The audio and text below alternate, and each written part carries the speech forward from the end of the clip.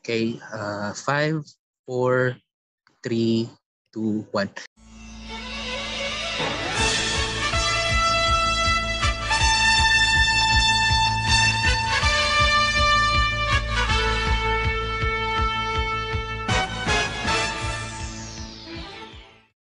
Welcome mga dudes tsaka mga dudettes. Ito na, uh, ito na naman tayo, si, si Kevin, sa isa na namang episode ng Elitistang Weibo Podcast. It's our first year anniversary and ito yung episode na double digits na tayo. So hooray! And dahil special nga, double digits na tayo, for the first time sa sa podcast na to, may guest tayo. And ano to, isa to sa pinaka-idol ko pagdating sa sa podcasting. So, sil, ano, isa siya sa Macho Trinity, uh, host ng uh, longest running comedy podcast sa Pilipinas at fastest rising um, TikTok account sa TikTok history or something. Kung ano may sinasabi nila dun dun sa sa episode nila. So, ito si si Tito P, palakpakan. Papalakpak ako ba sarili ko? Tito B, your teka tito, nakikigulo sa ibang podcast. So Yun. yan, bigyan lang natin ng backstory. Actually, ano, ako yung makapal yung mukha na nakiusap kay Kevin na makigulo sa podcast nila.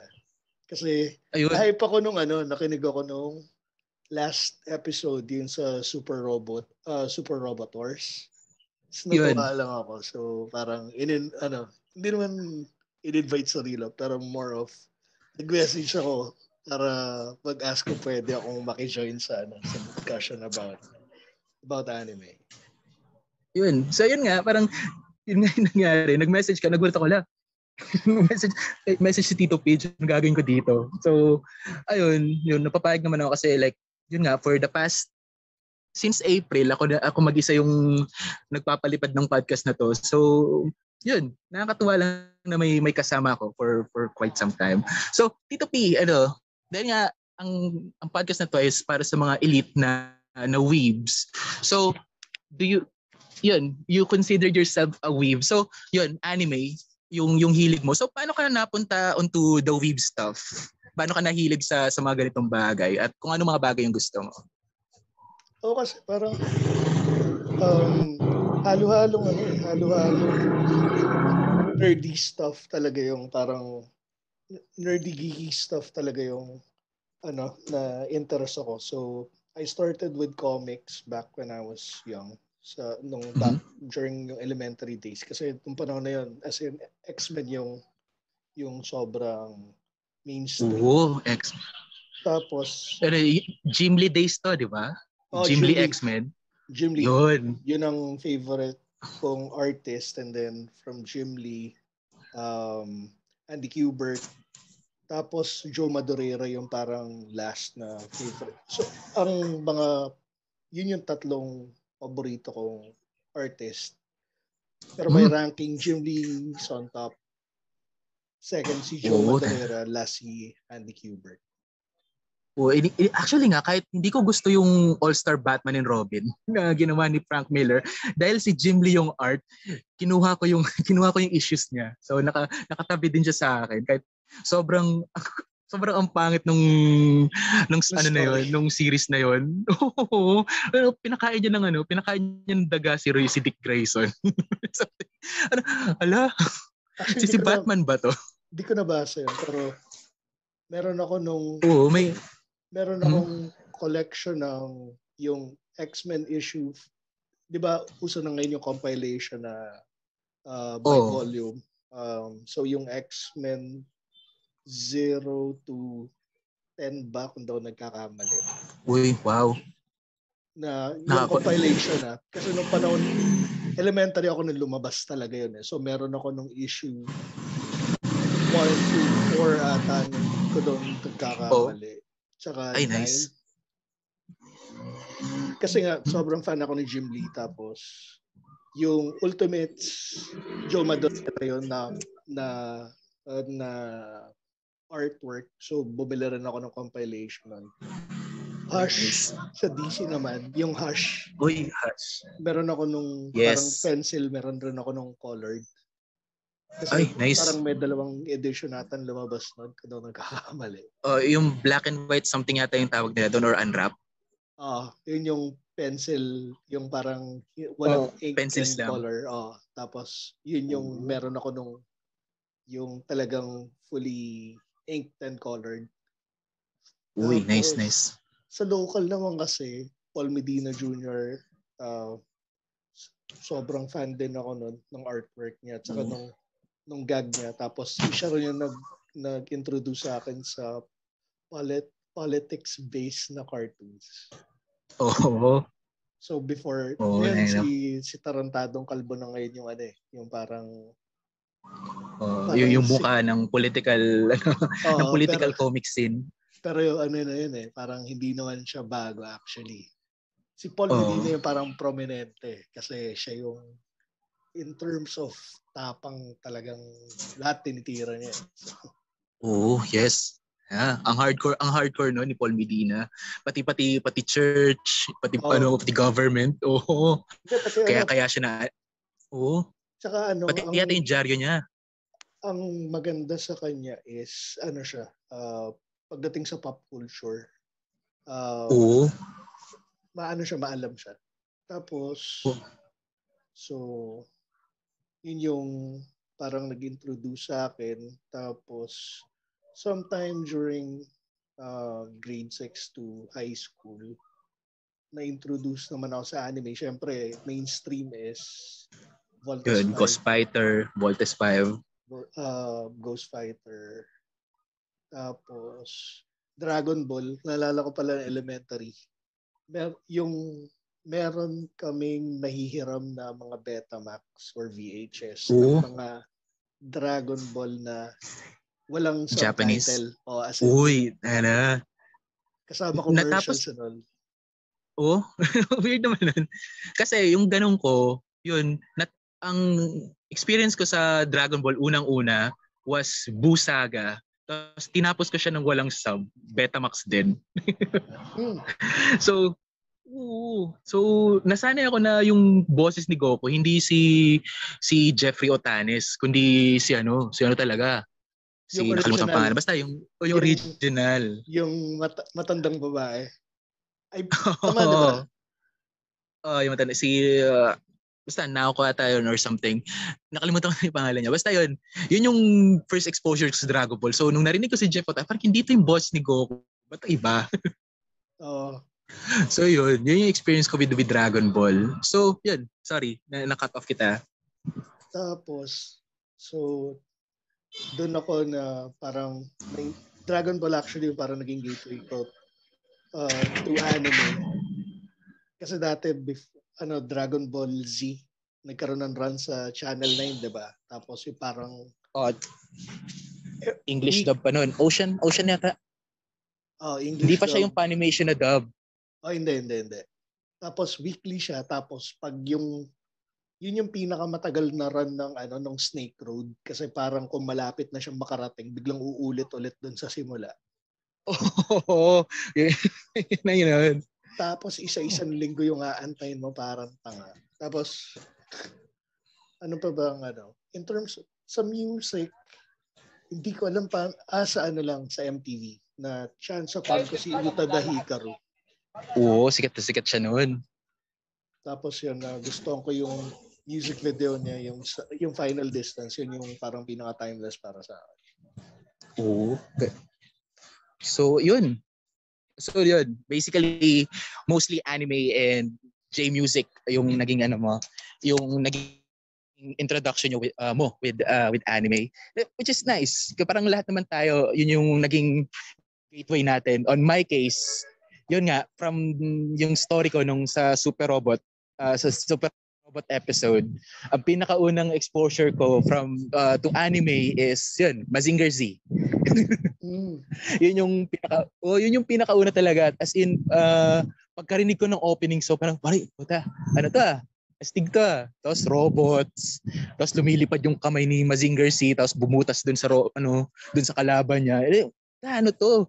Iba to sa mga napapanood ko sa sa sa TV so parang yun yun yung naging ano ko gateway ko. Tapos sumunod-sunod na yan from robots napunta akong Power Rangers na na Super eventually na- pa pala. oo. Di ba? Yung pa Tapos pala, yung mga- naging, naging bahagi ng ano ng mga batang 90s yung Oo. ano, Super Sentai series. Kasi ang ang mga mainstream nun is Bioman, Oo, ah, Maskman, Maskman, tapos, Turbo Ranger, pinalabas Turbo sa Ranger. Channel 13. Tapos ano pa pati yung Kamen Rider pala na introduced din dahil sa Mask Rider Black. Oo, Yung Mask Kamen Rider series. Black. Although hindi siya kasi Ultraman rin pala. Oh, Ultraman Ace, Tig, ah, Tiga yata pinalabas dito. Tiga Oh, Tiga. Dyna, tsaka, tsaka Gaia. Yung 90s trilogy. Saka nagkaroon ng So- ano, sa Channel 2 yung movie na na uh, cartoons. Parang US production ako daw nagkakamali. Oh, ay, ay, ay. US produced na, ano, na, na parang Ultraman din. Ah, Uh, yeah, which is really, really nice. So, yun, nagkasunod-sunod na from yun, Sentai na nahilig ako sa Godzilla. Tapos from Godzilla, napunta na ako sa ano, Kamen Rider. Tapos sunod-sunod na, J-Music, J-Rock, J-Pop. Tapos yun, na-consume na ako ng, ng J-Pop culture. Tapos yun, naisip ko na mag-podcast dahil parang sobrang dami ko ng ano, na-consume na ganun.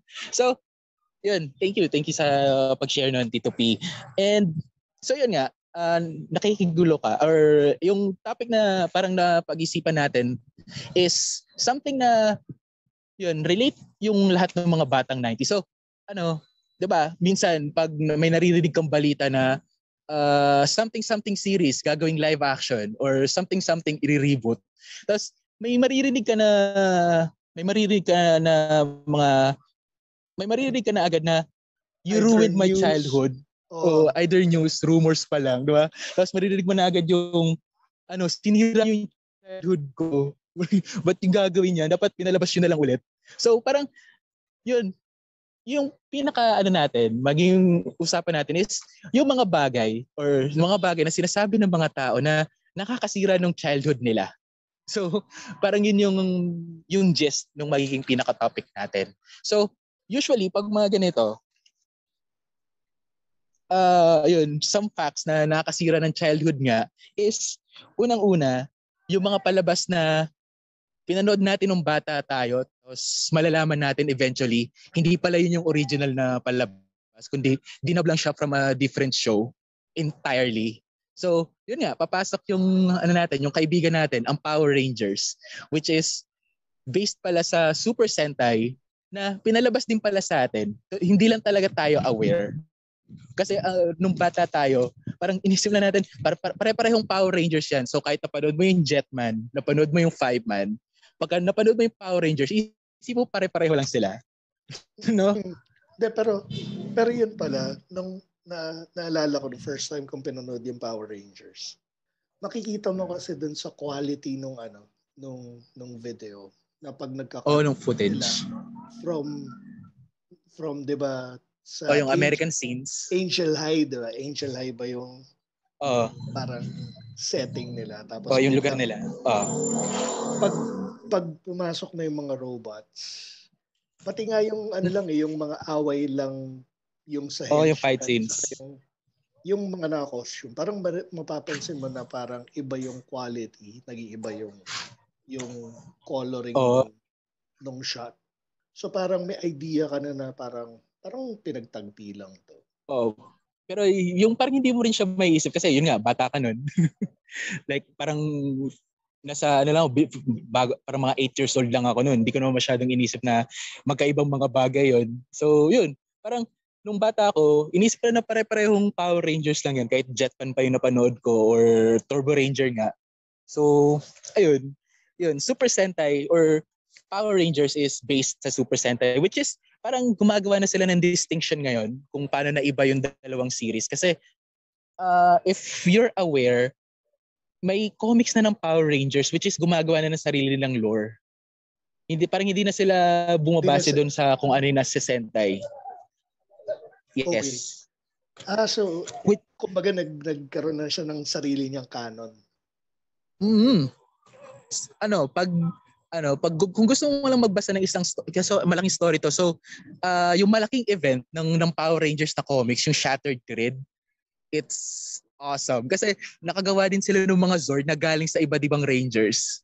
Iba-ibang Rangers sila tapos nakabuo sila ng Zord galing sa na, nakabuo sila ng Megazord galing sa Zord ng ibang series. So, yung, kunyari, yung, yung ulo galing sa RPM, yung kamay galing sa SPD, parang mga ganun. So, parang uh, na-reinvent nila yung, yung, yung Power Rangers na hindi na sila masyadong ano, nag-rely sa kung ano yung nasa Sentai. Mm. Which is which is good. Pero galing yun, na, yun, yun, yun, yung nakaisip nun. Mm, that's kasi parang ano against siya, yung ano. Parang, parang fan service siya in a, in a sense na kasi kung ikaw, 'di ba, fan ka ng Super Sentai, kung iniisip mo, paano kaya pag nag-combine yung from different series, 'di ba? Na kasi mm-hmm. pare-pareho namang robot 'yan eh. Kailangan mo ng lima. Oo. Oo, yun nga. Tapos yun nga, para tapos ang dark pa ng story niya. So hindi talaga siya yung napapanood natin ng mga bata tayo. So parang nag-aano din siya. So ina-attract din niya yung mga yung mga fans na hindi na gusto yung mga Power Rangers na masyadong pambata. So yun, Shattered Grid. Parang tatlong collected volumes lang ata yun. Kung ano. So another one na uh, TV show na pinanood natin nung bata tayo na hindi tayo aware na kinat lang or pinagsama lang from from other shows. Remember Voltron? Yung oh, Voltron. sobrang awesome. Oo, yung pinaka-awesome na opening noon, yung uh, uh, basta yung may The Legend of Voltron. Tapos yung epic na na team song yung ten ten ten ten ten ten ten So based pala siya sa, sa dalawang magkaibang series. 'Di ba nagkaroon ng dalawang series si Voltron, yung yung Lion Force and yung Vehicle yung Force. Vehicle, oh, yung Voltron 5 sa uh, Voltron 15. Oh, so Voltron, yung Lion Force is based sa Beast King Go Lion and Vehicle Force Voltron is from Diroger, uh, Diroger 15. Super magkaiba silang shows technically pero parang magkasunod silang pinalabas pareho uh, magkasunod na year. Pero ang ginawa nung ng American company is ginawa silang isang series na canon.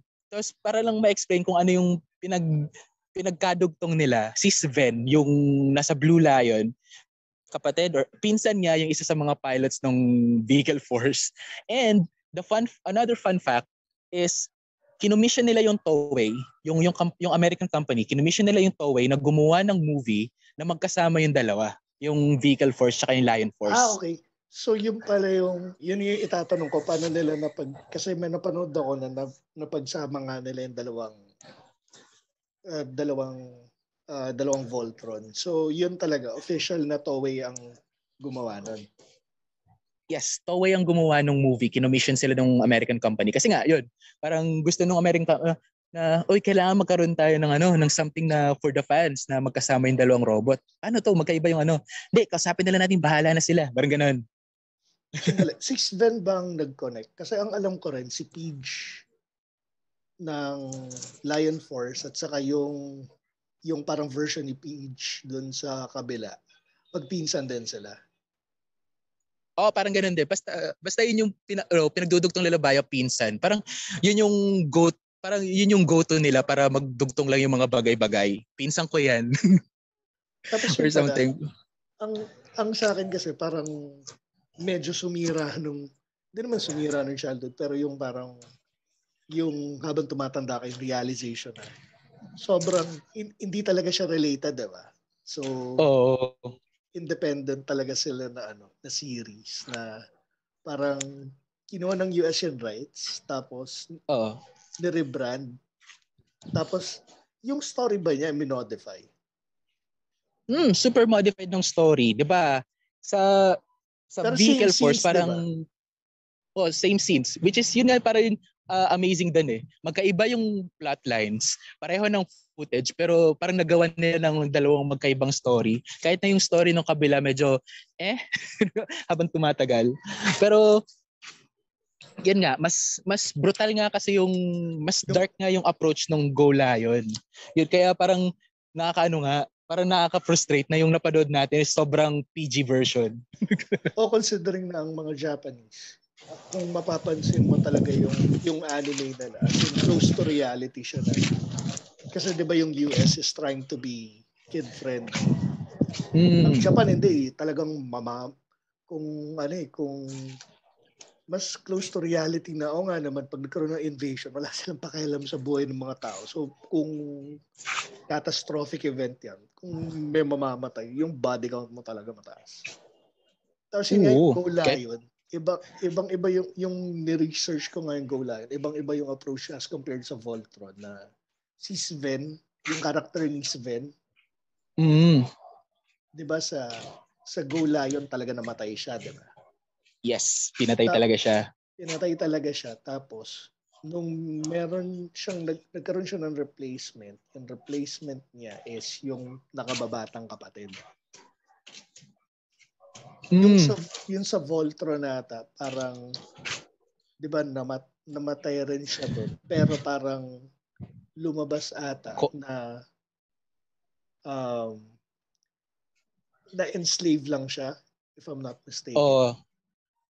Pero oh, na-enslave siya. Pero yun yung hmm? yun yung kapatid niya, 'di ba? Yun yung kumbaga sa original, oh, yun yung kapatid niya. Eh since magkamukha yung character, parang pinalabas na siya na lang ulit 'yun. siya lang ulit. Parang, oh, di ba nasaksak ka nung nakaraan? Hindi. The please lang yun. Palagi sa bituka or something. Tapos, eh, parang weird nga nung nalaman mo yun na ganun pala parang yun nga, parang na-disillusion ka dun sa ano, sana yung inisip mo na lang na sana itong gola yun na lang yung napanood ko nung bata ako. parang hmm. siguro yun yun yung pinakaano ng mga nagsasabi na ano nga na na-ruin yung childhood nila kasi yung bagay na gustong gusto mo is hindi pala yung original na yun, hindi siya yung original or hindi talaga siya yung kung ano yung ba to? Kung ano yung talagang concept na na ginawa para dun sa sa mismong uh, property na yon ang nakuha mo lang is parang yung ano lang chinap-chop parang, version tapos parang oh, version. siya para makagawa ng isang cohesive na story. Same with ano, oh. uh, Macross? Macross ba? Robotech mm. sorry, Robotech. Robotech. Robotech. So yun nga yun nga actually yung susunod natin. So Robotech is uh, another weird case kasi uh, Robotech is an 84 episode show pero ang ginawa nila is kumuha sila ng tatlong magkakaibang mecha series from the 70s. Uh, yun, yung first part, parang 1 to 24 ata nung Robotech yun or yung Robotech part, part 1 is from Macross, yung pinakaunang Macross. Hmm. Then yung second part is another mecha anime, Southern Cross. Then yung pangatlo nila is Mospida. So, yun, parang na, ano, ang magkakaiba din ang story yun. Pero nagawa nila na medyo coherent pero parang ang weird pa rin na ba't ganun yung ano, parang ba't ganun pa rin yung ano nila. And actually, kung marinig mo lang yung legal, yung legalities nung between Macross and Robotech, kung bakit, di ba, pag, pag pumunta ka sa Japan or sa Japan, Macross is still a big franchise. Mm-hmm. Ang daming anime series na ginawa after the original Macross. But di sila nakarating ng US dahil yun sa, sa Robotech. Robotech. Yes. Dahil sila so, nag ng property. Yes, so hindi mailabas from Japan yung Macross 7, Macross Plus, uh, Macross uh, Frontier or Macross F, tsaka Macross Delta which is yung pinakabago nga. So dahil yun kaya ano, ano nga pa yung company na yun? Harmony Gold. So hanggat hindi pumapayag si Harmony Gold na ilabas yung ibang Macross uh, into into the US market, hindi mapupunta sa US market yung macros. Kaya nga, kahit sa Super Robot Wars, kung bakit nahihirapan na i-translate yung ibang Super Robot Wars games dahil sa macros. Dahil pag sa, may ano, macros, sa intellectual mm, property pag may, rights. Yes. So, yun. So, similar siya sa ano, It, um, sa Marvel versus Capcom? Yes. Kasi 'di ba? Ganun din nangyari is gusto nilang dalhin yung Marvel versus Capcom sa Japan. Pero mm-hmm. yung Marvel property ay hindi, sorry. Mar- yun ba yung nagka-problema sila with uh, Capcom kaya naging Marvel versus Tatsunoko? Tama ba yung kasi alam ko kaya Oh, yeah, yeah. Nagkaroon nga ng pro- kaya siya naging Marvel versus Tatsunoko. Basta, is nagkaroon sila ng problema dahil sa ibang Capcom properties. in Japan. True, true. Like, oh, sa Japan.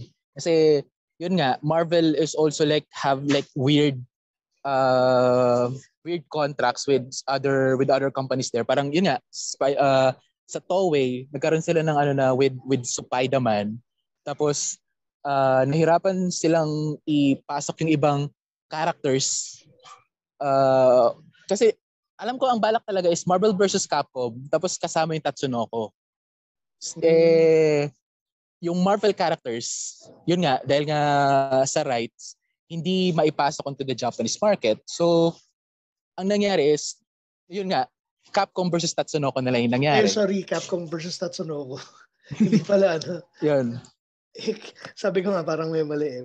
Capcom versus Tatsunoko. Kasi yung Marvel yung Marvel yung yung mga panahon na yan, 'di ba yung ang rason nata is dahil um, sometime nung 90s na ba, na bankrupt si si Marvel tapos kailangan niyang i- ibenta yung yung oh, yung ibang properties ng yung, or ibang uh, IPs I mean kaya 'di ba Spider-Man napunta sa Sony um, ang X-Men napunta sa Fox oh napunta sa Fox si Hulk napunta sa Universal.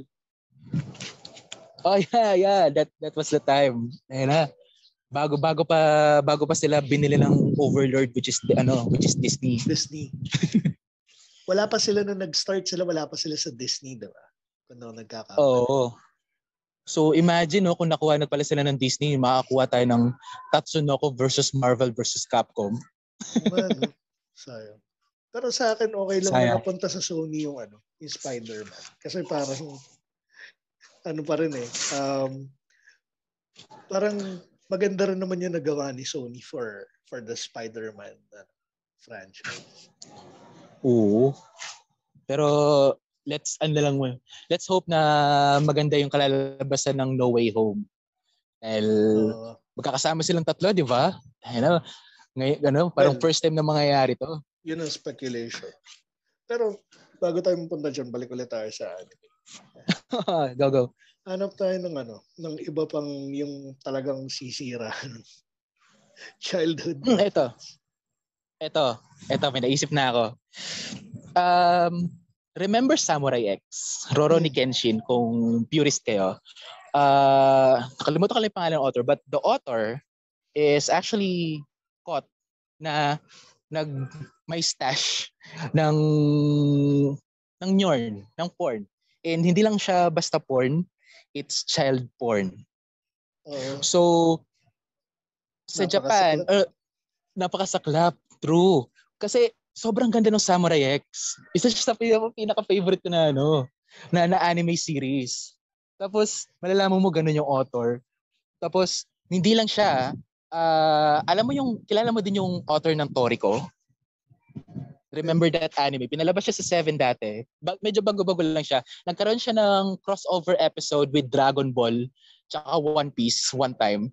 Toriko, yung para siyang ano, para siyang Dragon Ball na uh, pinagsama mo siyang Dragon Ball tsaka uh, Food Wars. Okay. Ganun. So, ganun din yung nangyari sa author nung ano, nung nung Toriko. Nahulihan din siya ng stash. Pero ang ano kasi, ang parang naging ano na nun, kailan lang naging bawal yung ganun sa sa Japan? Like recently lang din. Kaya kaya sila nahuli. So, parang in on on the legal side, pwede sila magtabi ng ganun. Pero yun nga dahil bawal na. And also morality. So parang hindi parang hindi na tuloy nag-ano yung mga careers ng iba. Toriko, gumawa siya ng bagong manga sa sa Shonen Jump recently, yung Build King. After like five chapters, ligwak. dahil dahil sa nangyari sa kanya. Act Age, isa pang manga na recent lang din na ano. Uh, parang ano pa nga, yung Act Age is a manga uh, about acting. Tapos may series ng author comments kasi like every issue ng Shonen Jump, nagiiwan yung mga authors ng ano, ng comment, parang kung ano yung naiisip nila from from that week.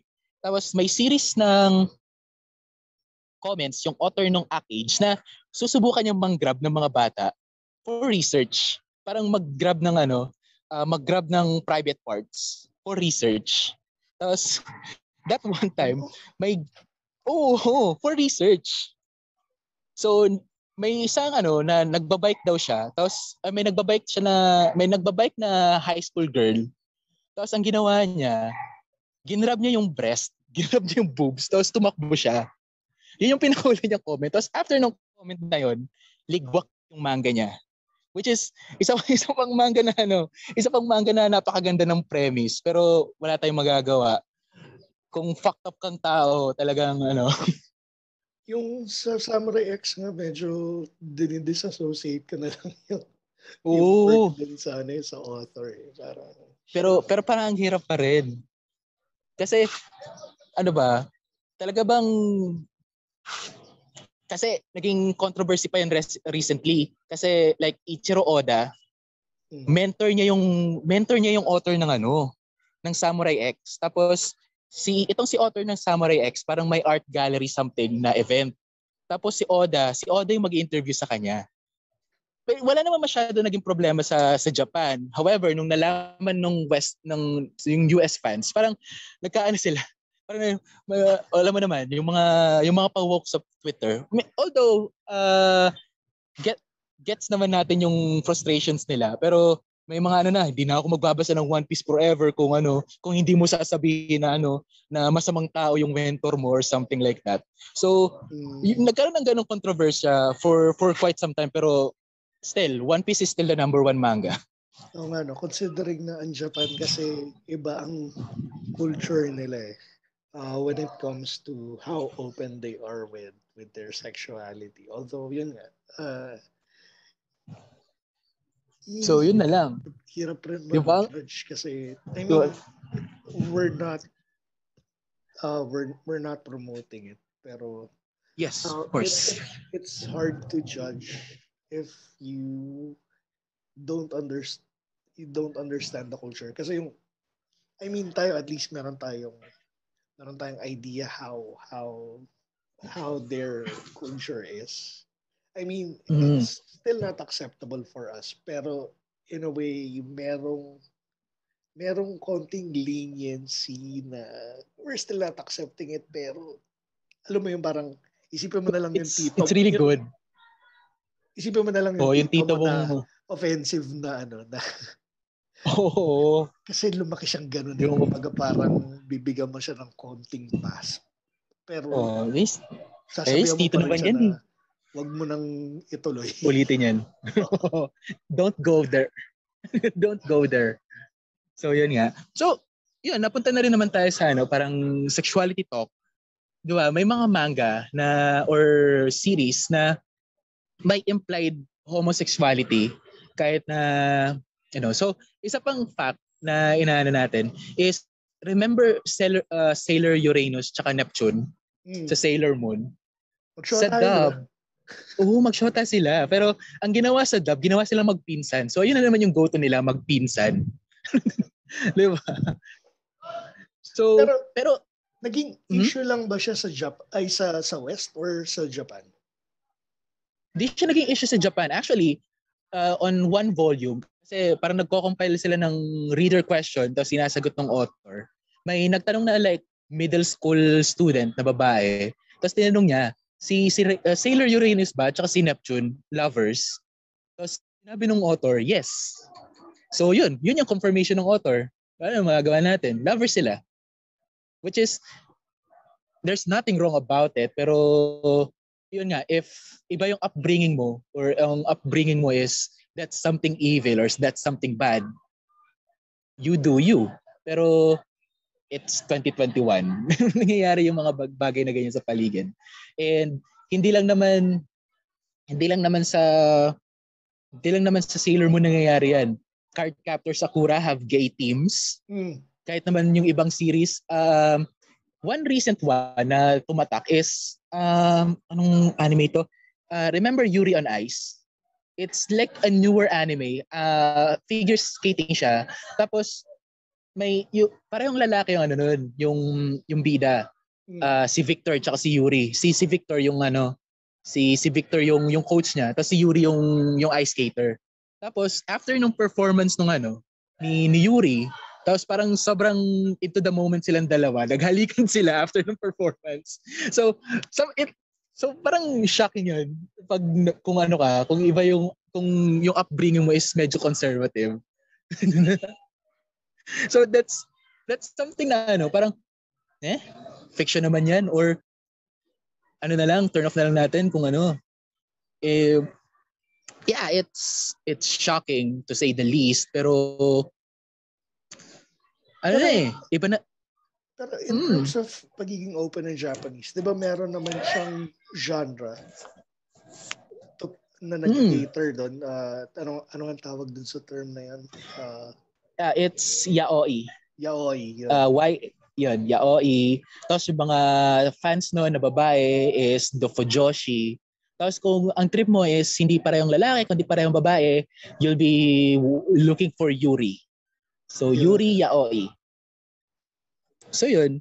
yun. Open nga kasi yung ano, parang kailan lang naman naging ano yung sexuality sa sa West pero like 80s pa lang uh, there are some animes na yung teams nila is already ano na progressive uh. like your oh like your Ixer 1 uh, babae yung bida doon pero meron meron, meron siyang lesbian scene with uh, with another female character pero okay lang sa ano yun, okay lang sa kanila yun. Parang eh parang ano nga, parang as long as hindi naman siya disrupting sa sa normal life mo, y- ano, okay lang kung nanonood ka ng ganun or yun yung trip mo.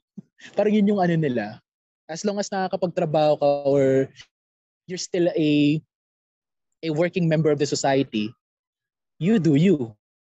Wag mo lang masyadong ano, Huwag mo lang masyadong ipagmalaki or something. Kaya nga, yung mga ganun is mostly makikita mo lang on on like small conventions, yung mga comiquettes sa sa Japan.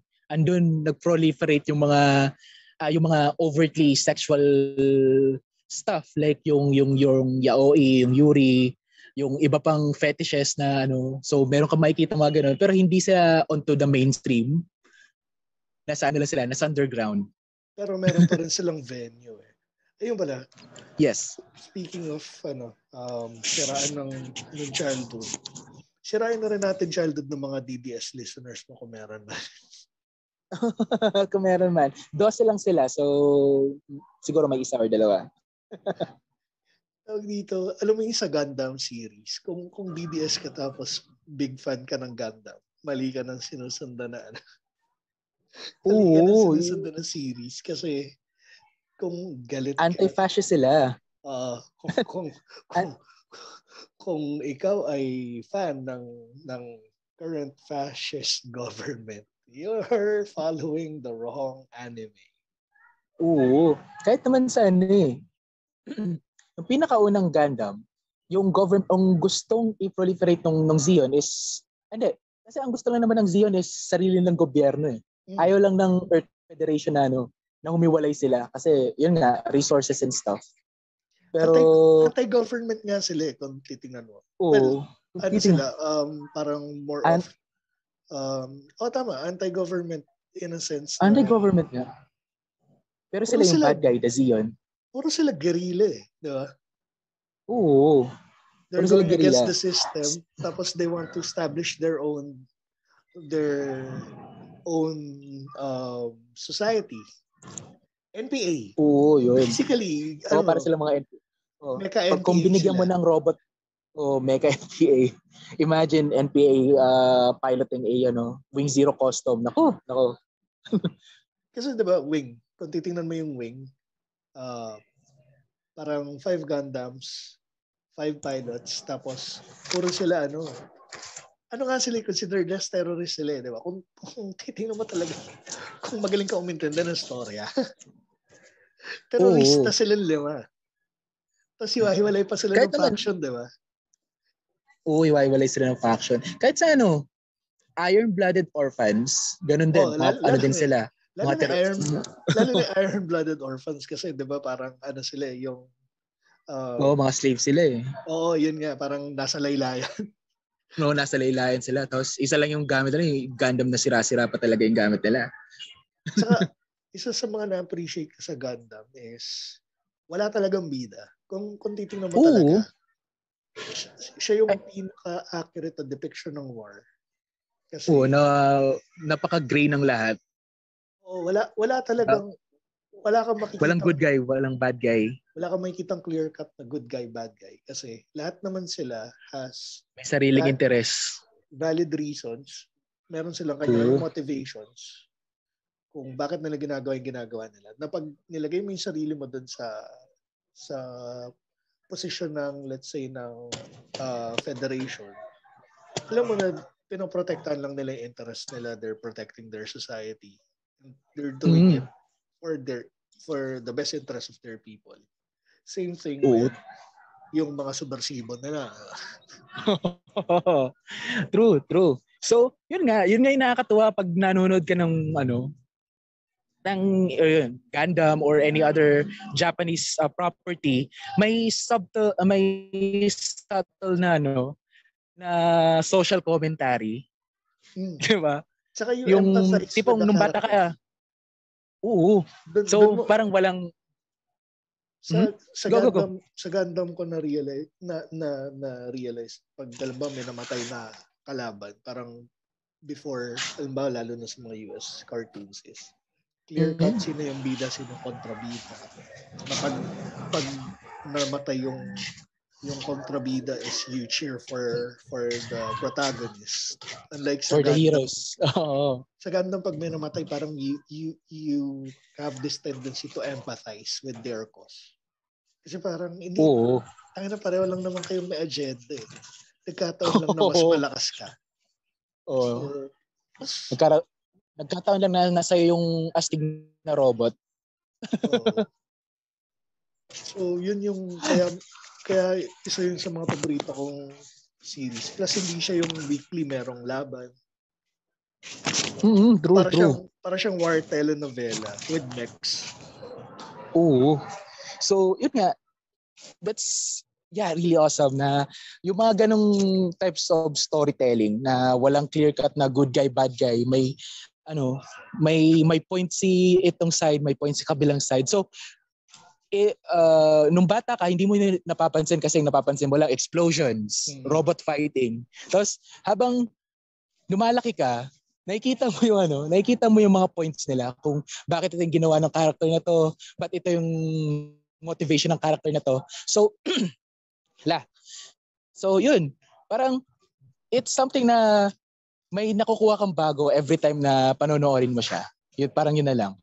Tsaka questionin mo yung In, oh, hindi siya clear cut ano. pag, pag alimbawa, nan, nanalo yung bida. Parang kay questionin mo na parang, at, tama ba tong, itong na-achieve oh, mo yung, goal costs. mo at, at this cost? Na parang, is it really worth it? Parang, are you doing the right thing?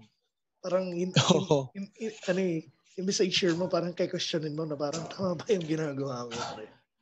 Oo. Oh. So, bago pa tayo magkaroon ng sarili nating ex- existential crises, um, ayun, so isa pa ano, uh, malipat tayo ng konti. So, isa pa sa mga ano, uh, sa mga bagay na yun, sinasabi ng mga tao na kapag narinig mo, sasabihin ng mga tao, sinira mo yung childhood namin is pag nag-announce ng live action adaptations. So, Tito Page, ano yung mga live action adaptation na masasabi mong sinira nga yung childhood mo? Ako meron ako isa, Dragon Ball Evolution.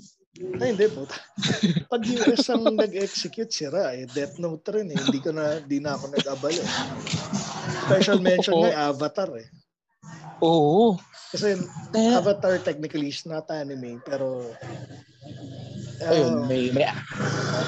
parang ina-associate siya dahil sa strong influence ng ng oh, anime, ng anime. saka ng Asian culture sa ano eh, sa sa Avatar.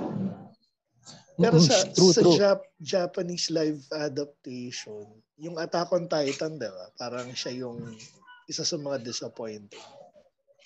True, pero ang ano ko doon is actually ba, binaka pa niya na yun nung nung author. Author. Uh. Oo, sabi niya, hindi ko to i ano, parang siya talaga yung nagsabi na wag niyong igaya sa kung anong ginagawa ko ngayon. Ito yung parang iba kong idea para para sa series. Ito yung ano nyo, ito yung ito yung gawin yung movie, yung iba kong ideas. So, in a sense, parang it's a good idea na si author na mismo nagsabi na wag niyong i-adapt kung ano yung ginagawa ko ngayon. Pero yun nga, yung fans, hindi naman lahat alam na yun yung, gusto, yun yung sinabi ng author. Hmm. So, ang i-expect ng fans is kung ano yung napanood na nila. Oh, canon dun sa ano. Oo. Oh, oh. Kahit nga, ito, kaka-announce lang. Yung One Piece na live action, nagpakita na sila ng logo. Tapos episode 1 is Romance Dawn. So, si Oda yung executive producer nun, so panigurado, may may say siya sa kung paano ano yung kwento. Pero are you positive, negative? Eh, antayin mo kung ano yung ano, antayin mo na lang lumabas yung final product or ayun pa lang it sucks. Sa akin, parang dapat antayin mo eh yung resulta. Yung yung Attack on Titan naman, sa akin nung nakita ko yung perspective ng author, parang o nga naman, bakit nyo binabash? Ang hirap kasi ngayon parang masyado na outspoken lahat na parang True. Pag hindi niya na-meet yung expectations, parang may ano eh, parang apektado rin siya ng cancel culture eh. Parang 'di ba yung sa uh, Game of Thrones nung ending True. na parang Oo. maraming na-disappoint. Same with Attack on Titan na matcha. 'Di ba? Yung Oo. Hindi may ano na nga. May may nagsulat na nga ng fan ang gusto nilang ending, 'di ba? What what a time we're living in. Nung bata tayo, pag natapos yung series, okay. Natapos oh. yung series, it's been fun kahit hindi ko gusto yung ending. Pero ngayon, parang hindi, hindi ko gusto to. Iibahin ko yung ending. Ako yung gagawa ng ending. diba? Oh, yung yun na parang uh, gustong i-protesta. Parang oh. naman ako yung nagsulat eh. True. totoo, totoo.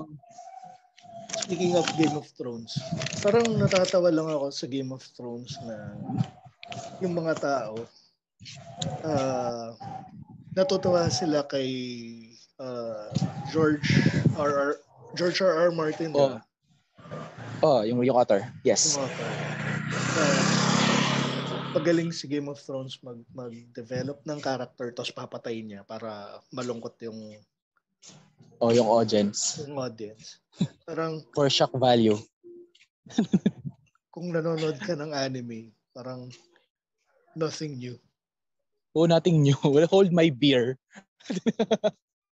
Kasi ang dami diba? na scene sa, sa uh, Gundam Seed at Seed tama. Oh, sa Seed. Wala oh, parang daming ang daming develop na character para lang patayin. Na parang yung kung kailan you're rooting for the character tapos papatayin. Oo. Oh. Ang ina na ito.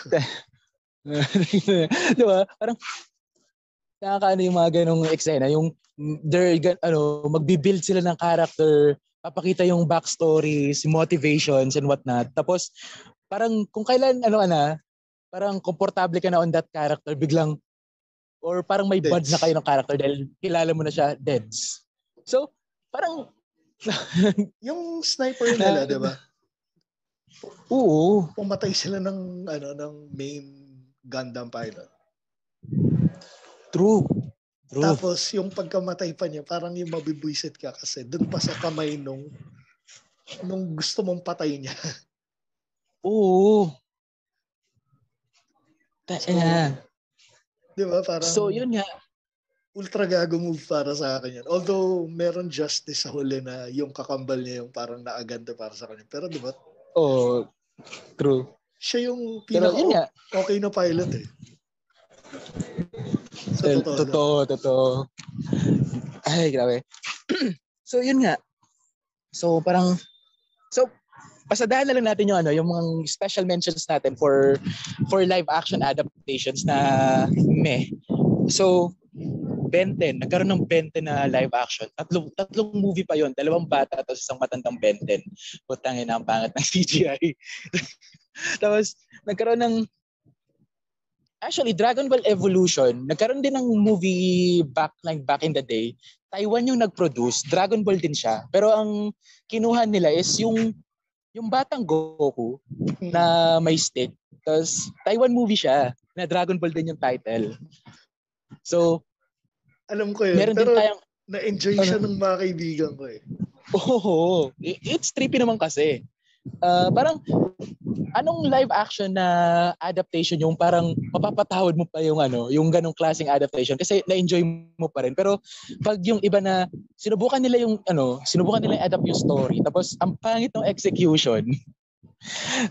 Talaga. So, ito pa, ito pang isa napansin ko. Uh, Cowboy Bebop 'di ba, maglalabas din ng live action yung Cowboy Bebop. Ang dami ng disappointed. So, ang dami ng disappointed dahil hindi malaki yung suso ni Faye. Oo, oh, putang ng rason.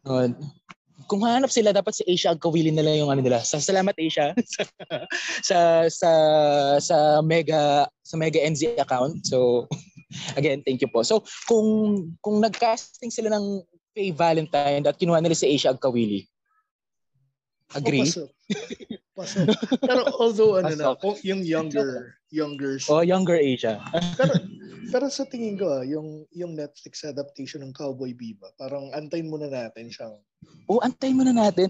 Hindi kasi parang medyo naasar lang ako kasi naglabas ng video yung ano, yung actress. Tapos parang sinabi niya pa, oh, parang ay, sorry ko na disappoint kayo, hindi malaki boobs ko. Parang ano, napaka-condescending niya pa na parang, ay, grabe kayo, tanga nyo. But, but ano, gusto niyo lang yung character dahil sa boobs. Parang, ano, parang um, inaan, ini-scold niya pa yung fans from being fans na parang ang sinabi lang naman nila, hindi ko gusto kung how how you look. Kasi ito yung pagkakaalam namin sa character. Ito, ito yung ano namin sa character. So, dapat ang sinabi niya na lang, antayin niyo yung ginawa namin dahil magbo-blow yung minds niyo. Tapos parang ganun lang. Tapos antayin lumabas yung final product. Kaysa sinagot niya yung mga, ano, sinagot niya yung criticism sa kanya. Baka diba? lang. Pero John Siguro. Cho kasi, mataas ang expectation ko kay John Cho. Eh. So, hopefully, Oo. okay. John Cho, di ba siya yung, siya ba yung Jin sa sa Tekken movie? Oo, isa pa yun. yung Tekken na movie na live action. Siya ba yun? Uh, hindi, ibang actor pala yun. Hindi, iba-iba. Pero siya yung sa ano eh. Uh, ano nga to? Yung Harold and Kumar. Harold. Ay, hindi. Yung iniisip ko na yung Jin sa Tekken movie, siya pala yung nasa yung TV series na ano, ginawa ng TV series yung Rush Hour. Siya yung siya yung ano, siya yung Agent Lee. Siya yung siya yung Jin ng, ng ano, yung Jin ng Tekken. So, kung gusto niya lang ng ano, gusto niya lang kung trip niya lang manood ng kung ano, may live action ay may may reboot series na ginawa yung CBS na Rush Hour, two seasons, uh, one season lang siya.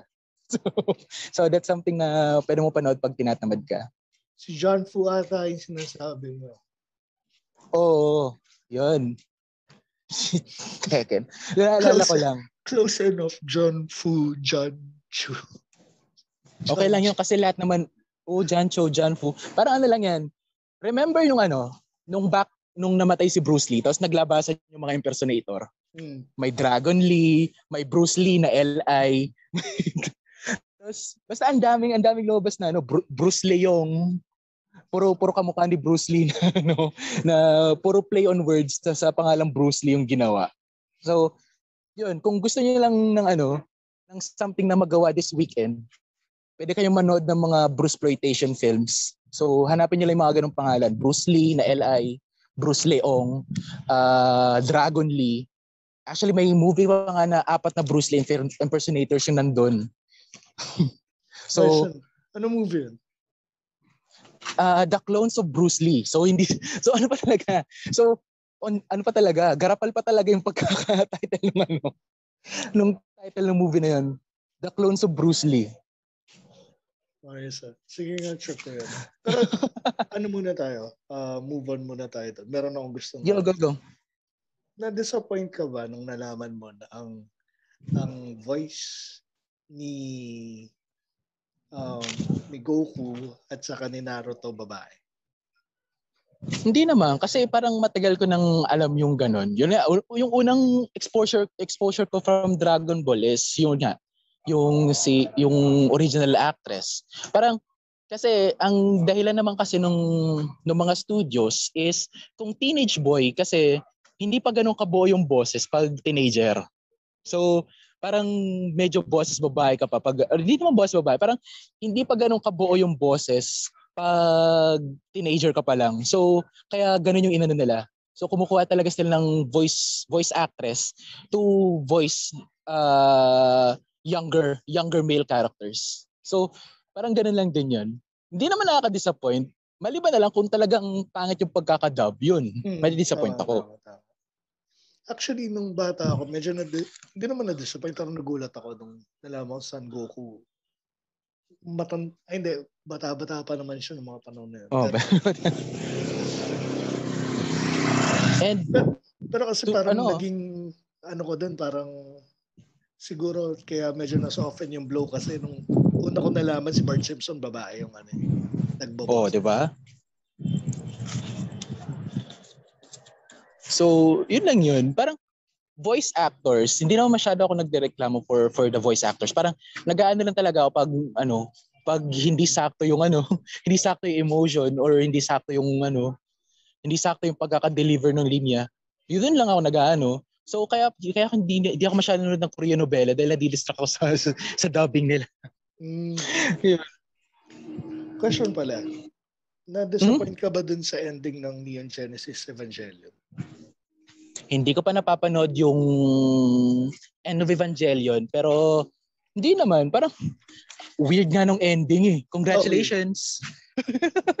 hindi, kasi nung panahon na yon I think Hideaki Anno, may depression siya noon. So ginagawa niya yung buong Evangelion na may depression. So, yun, syempre, may mga tao na hindi naman alam kung ano yung mental state niya nung mga panahon na yun. So, parang ano na lang, parang extreme fan reaction lang talaga na but, ano yung ano yung congratulations? Ano 'tong pinanood ko? nanonood na lang pala dapat ako ng Wawa win kasi doon mas ano may nananalo pa sa congratulations na yun or something. So, Sorry, ang explanation nata mm-hmm. is bukod sa may may depression doon si ano si Hideaki. Ano rin eh, parang may budget constraints rin nata. Kaya mm, parang parang medyo rush din yung ending. Yun, so yun. Do what they can. Pero still, happy pa rin ako dahil natapos na yung Evangelion. So, isang chapter na naman ng, uh, ng buhay ko yung magko-close once napanood ko yung end of Evangelion. Actually, mas disappoint lang Kasi, ako yung naka-receive siya ng ano eh, ng death threats dahil sa ending. Kahit naman sino eh. Uh, kahit naman sinong creator, nakakatanggap ng death threats. Uh, ito, parang recently lang, si, si Tom King, siya yung writer ng Batman uh, back 2016 nung nag-relaunch sila for DC Rebirth, di ba? ang balak ni ano, ang balak ni Tom King is ikasal si si Batman at si Catwoman. Hmm. Tapos ang laking news pa noon na issue 50 kakasal yung dalawa. Hmm. So may mga may mga fans na yung iba nag-set ng kasal sa sa araw na yon kung kailan i-release yung issue na yung ibang comic book shop naghanda pa ng cake tapos like uh, parang a few days before i-release yung issue naglabas ng balita yung New York Times. Nilik yung ano nilik yung chapter. Mm. nilik yung chapter 50 na hindi matutuloy yung kasal. So kata uh, uh, super disappointed yung mga fans. Nakatanggap ng death threat si si Tom King. Tapos, parang tuwing pupunta siya ng convention, may dalawa siyang bodyguard.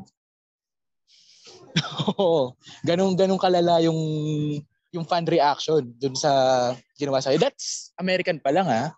Mm. Pero Japanese kasi is fans. Fans are fans eh. May mga bagay na gusto nilang mangyari na ano. Tapos parang nafe-feel mo na entitled ka kasi hey, kinoconsume ko yung creation mo. Dapat may say ako kung paano siya gawin. Ngay- minsan nangyayari sa atin yan. Oo. Pero pag nagmamature ka naisip mo yon, hindi naman ako yung gumawa nito, binibili ko lang kasi gusto ko eh. So bahala siya kung ano yung gusto niyang gawin. Pero minsan talaga, entitlement na lang talaga. Tapos na namumultiply pa ngayong may social media. Di ba? Oo, oh, tama parang dahil social media, parang ano eh, ngayon nagkaroon ng feeling ng empowerment yung, yung mga readers. Parang, Oo, gusto, parang, gusto nila yung opinion gusto nila. masunod.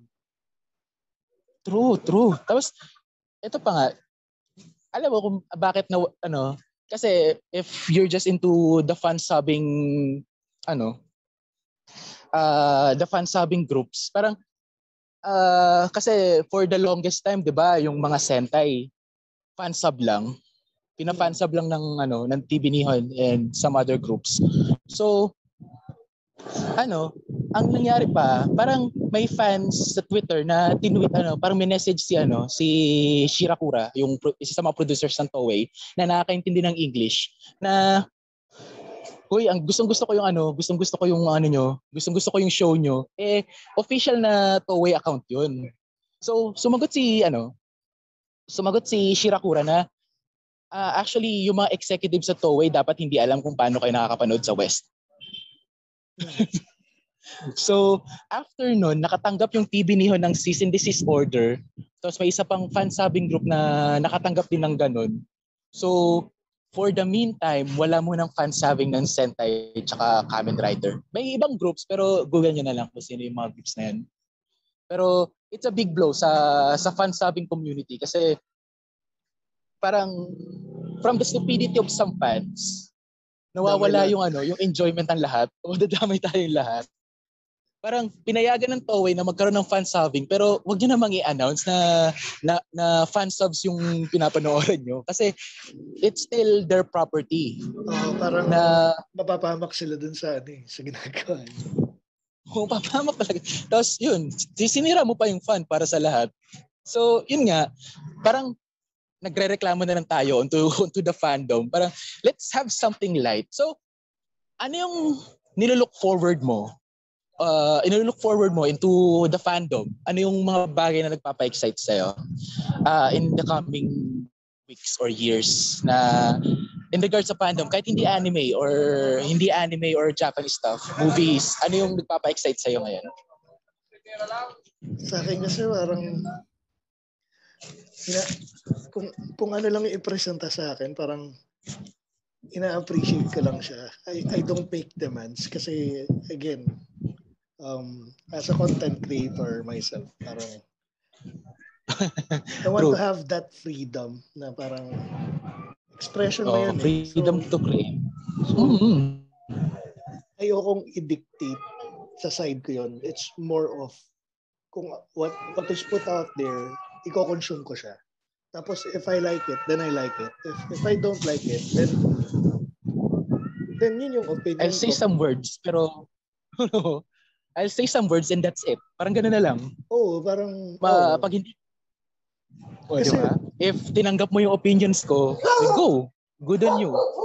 At saka ang, ang opinion ko is not for the author, it's for the consumers na if if meron lumabas sa series, pinanood ko, tapos may nanghingi na opinion ko.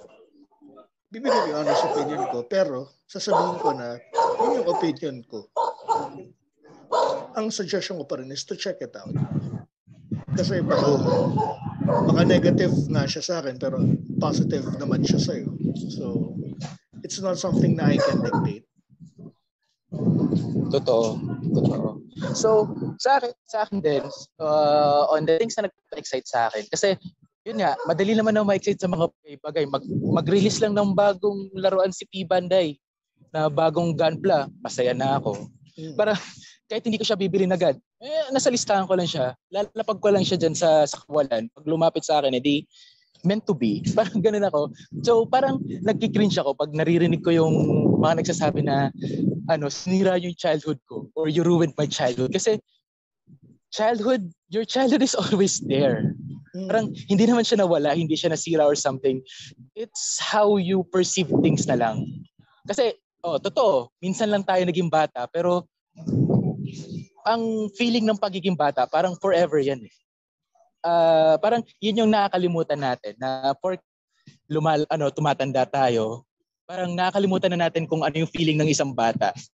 Kasi yun nga marami na tayong nalalaman ah, mas malalim na tayong mag-isip pero dapat minsan ano lang din mag-isip lang din tayo or parang we put ourselves on a child's mindset. So parang gano'n lang din yung inaano ko. Mag-announce sila ng bagong robot anime, yay! So, Mag-announce sila ng bagong anime, hooray! Ba? Ito, ito lang sa akin, parang ang pangit kasi habang tumatanda ka, nagiging demanding ka, nagkakaroon ka ng sarili mong opinion. Nung bata ka, hindi, hindi True. wala ka namang ganong comment eh. Parang nalulungkot ka lang pag pinatay yung ganitong character. Bakit napunta sa ganitong story arc tayo? Bakit naging kontrabida si ganito? Bakit tinride off ni ganito si ganito? Pero hindi, hindi yung sasabihin, ay sayang, dapat ganito ginawa ng author. Wala kang ganun eh. True. Parang, yun nga, na, na-amplify tayo na pwede nating i-voice out yung mga nararamdaman natin. So, parang yun, parang as final thought na lang, pag may nararamdaman ka na emotions na matindi in regards to a fictional thing, either anime, manga, TV series or whatnot, movies, parang if may mararamdaman ka na extreme na emotion in regards to it, lumayo ka muna sa screen. parang ganun. Uh, alisin mo muna yung headphones mo. Layo mo yung kamay mo sa phone ng mga 20 seconds. Tapos kung yun pa rin nararamdaman mo, ilabas mo yung nararamdaman mo. Then that's it. Tsaka kung lalabas mo, ano, uh, speak with friends instead of putting it online na kasi to be honest, we don't really fucking care about your opinion. or the author doesn't even fucking care about your opinions about it. At the end of the day, it is his, it is his oh. creation if you don't like it, then if he has any other projects in the future, then you can opt not to to support it, diba? Totoo, totoo. So, yun na lang yun. Pag-usapan niyo muna magpa kung kung ano yung nararamdaman niyo on uh, on a specific thing. Tapos, if someone asks you for your opinion, sa ka magsabi uh, online or whatnot. Pero, yun nga, uh, be be happy na lang kung ano yung binib hindi naman sa be happy kung anong binibigay sa atin. Mag-demand pa rin tayo pero not too much na tayo yung magdidikta sa kung ano yung kalalabasan ng mga bagay-bagay. Kasi unang-una hindi naman tayo yung gumawa niyan. So, yun. So, parang, so thank you. Thank May you. pabalo ka dun. Para, parang, go. Parang it's, it's okay to demand na mag-demand ka ng magandang output pero yung pa-demand kung paano yung tatakbo ng story is different eh. Na parang you can demand dun sa author to to ask for better material, better writing. But at the end of the day, you're not in control on how the story arc is going to progress. Totoo. Totoo. Diba? Parang you so, can request for better artwork. Yan. Better oh character build up for for this character. Pero yung kung paano na siya tatakbo, parang just enjoy the ride. Oo, enjoy the ride na lang. Diba? Ang dami ng problema sa mundo. problema ka pa ba kung sino yung makakatuluyan ni Soma? Oh. Di ba? Ang dami-daming bayarin. Isipin mo ba ba na uh, putang na si Goku, pinabayaan na namang lumakas yung kalaban? Oo. Uh. Di ba? diba?